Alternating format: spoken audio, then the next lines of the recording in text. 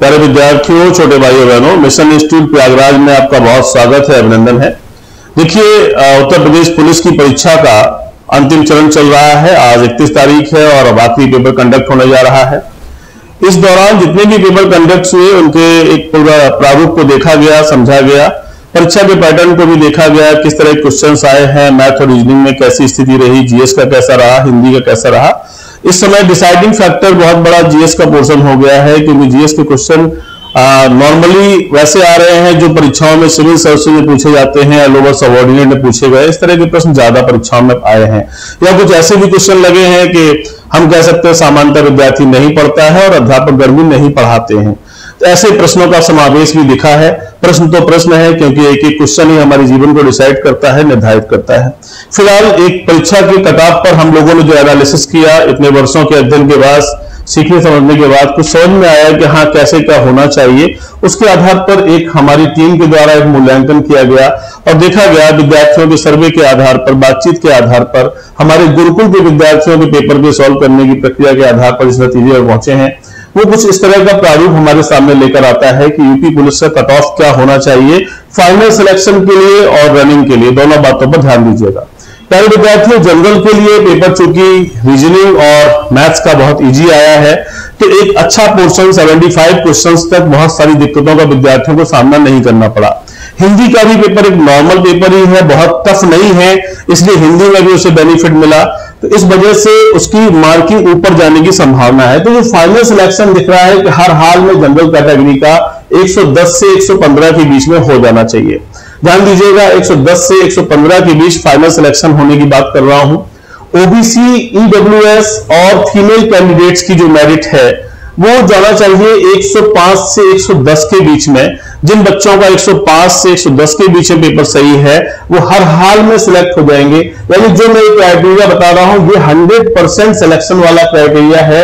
ये रनिंग के बाद जो मेरिट बनेगी इस, इस मेरिट की बात कर रहा हूँ कि ये जो बच्चे हैं इन्हें कोई रोक नहीं सकता है ये हर हाल में सिलेक्ट हो जाएँगे।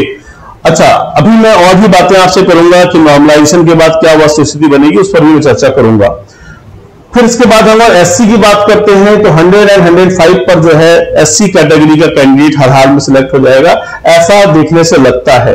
और एसटी कैटेगरी की बात करते हैं तो 95 से 100 के बीच में जो बच्चे हैं एसटी कैटेगरी में वो लोग सिलेक्ट हो जाएँगे। अब स्थिति यह है कि बहुत सारे बच्चों के पेपर बहुत अच्छे नहीं हो पाए हैं, कुछ कमियाँ रही है। उसका एक बहुत बड़ा रीजन ऑनलाइन का भी रहा है। ऑनलाइन में बच्चों ने बहुत इन्वॉल्वमेंट किया। जब हम टीचर के सामने बैठ के नहीं पढ़ पाते हैं ऑनलाइन में तो हमारे हाथ में मोबाइल होता है, पूरा कमांड हमारे हाथ में होता है। देखना है देखना है, नहीं देखना है, हमने उसको आगे बढ़ा दिया। तो बहुत सीरियसनेस नहीं होती है, इसकी वजह से परिणाम भी कोई सकारात्मक नहीं आए और उसकी वजह से बच्चों को कष्ट भी देखना पड़ा। फ़िलहाल मैं बात कर रहा था कि जो सामान्यता विद्यार्थी दिख रहे हैं, जिनसे और भी चर्चाएँ हो रही हैं, वो लोग कह रहे हैं कि, सर, मेरा जनरल कैटेगरी में जो 105 नंबर तक करके आए हैं इन्हें ज़रूर रनिंग के लिए मौका मिलेगा। जो ओबीसी ईडब्ल्यूएस और फीमेल कैंडिडेट्स हैं, अगर वो 100 के आसपास हैं तो उन्हें भी रनिंग का मौका मिलेगा। इसी प्रकार से एससी और एसटी कैटेगरी में जो 95 मार्क्स तक जो एससी कैंडिडेट्स हैं उन्हें हर हाल में रनिंग का मौका मिलेगा और 85 तक जो एस टी कैंडिडेट्स हैं, उन्हें भी फ़ायदा होगा, उन्हें भी रनिंग का मौका मिलेगा। अब देखिए, कहना जो है, वो बात ध्यान देने की है, समझने की है कि ऐसा हो सकता है कि नॉर्मलाइजेशन का इफ़ेक्ट हो, क्योंकि नॉर्मलाइजेशन में आपके पेपर को भी देखा जाता है।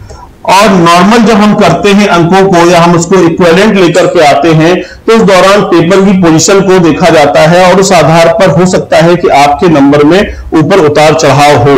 तो हो सकता है कि इस रैंक के बच्चे भी फाइनल सिलेक्ट हो जाए। क्योंकि इनका पेपर हो सकता है उस समय कठिन आया हो और उन्होंने 105 तक पहुँच पाए हो, या हो सकता है कि वो कम कर पाए हो तो उसको भी अगर देखेंगे तो वो मामला नॉर्मलाइजेशन में ऊपर जा सकते हैं। सिलेक्शन की पूरी संभावना है।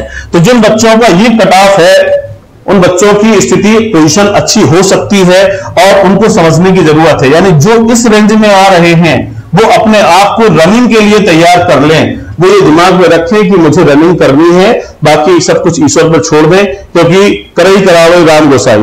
तो जो आपके भाग्य में लिखा है, जो होना है, वो अब आपको मिलेगा। लेकिन कर्म आप कर चुके हो। कर्म निर्धारित करता है भाग्य को। तो जो आपने किया है, उसका परिणाम अब आने जा रहा है। तो ये पोजीशन जिन बच्चों की है, वो रनिंग के लिए अपने आप को फिट रखें। अनावश्यक की भागदौड़ ना करें, अनावश्यक किसी से उलझे नहीं। और बहुत ज़्यादा ओवर कॉन्फिडेंस में ना रहें। कि हम जो है सब कुछ कर लेंगे रनिंग के लिए फिट करें, अपने आप को बॉडी को फिट रखें, ताकि किसी आगे की प्रक्रिया में कोई बाधा ना आ सके। तो ये एक वस्तु स्थिति जो मेरे समझ में आती है, मैंने आपको बताई है। ईश्वर करे, आप इसमें हों और आप सफल हो जाए, ताकि आगे जीवन पथ पर आगे बढ़ सके। बहुत अनंत शुभकामनाओं के साथ, जय हिंद। एक नई बात और इंपॉर्टेंट है कि आगे वाले समय में चालीस हज़ार वैकेंसी के लिए योगी सरकार ने कहा है। तो जो बच्चे नए हैं, जो भी पास आउट हो रहे हैं और जो आहारता धारण करते हैं, उन लोगों को तत्काल लग जाना चाहिए। और जो बच्चे परीक्षाएँ देकर के भी आए हैं, अगर वो इस कटाफ से ऊपर चल रहे हैं या इस रेंज में है तो वो तो अपनी इस रनिंग की पोजीशन को देखें। लेकिन अगर जरा भी नीचे ऊपर हो रहा है तो तैयारी बनाए रखें, क्योंकि आप इस समय पूरी तैयारी में हैं और इस तैयारी को अगर आप बनाए रखेंगे तो आने वाली परीक्षा में आपको हर हाल में सफलता मिल जाएगी। तो जो बच्चे कुछ कम कर पाए हैं, उन्हें अपने आप को बनाए रखना है तैयारी में, और जो कर चुके हैं, उनका अच्छा हुआ है, वो भी रनिंग की तैयारी करें। मिशन में छह तारीख से बैच प्रारंभ हो रहा है ऑफलाइन के लिए। उसमें आके जुड़ सकते हैं, ट्रायल क्लास अटेंड कर सकते हैं और आगे की प्रक्रिया में शामिल हो सकते हैं। अपना बहुत ख्याल रखिए। जय हिंद, जय भारत।